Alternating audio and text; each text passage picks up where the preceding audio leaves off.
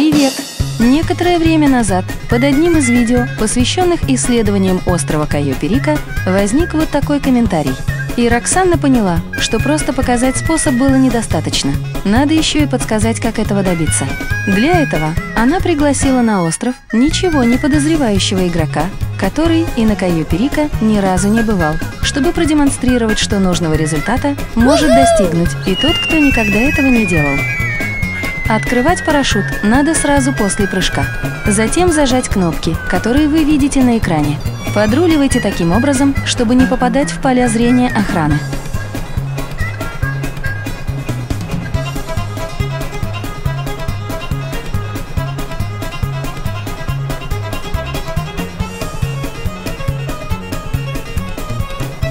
Как видите, ничего сложного в этом нет.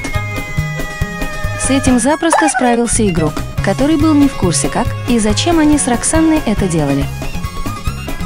Ну а теперь осталось отыскать скалу с трупом, сфотографировать и отправить фото Павлу.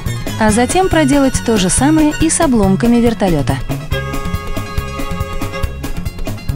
Выбраться тем же путем у вас, увы, не получится.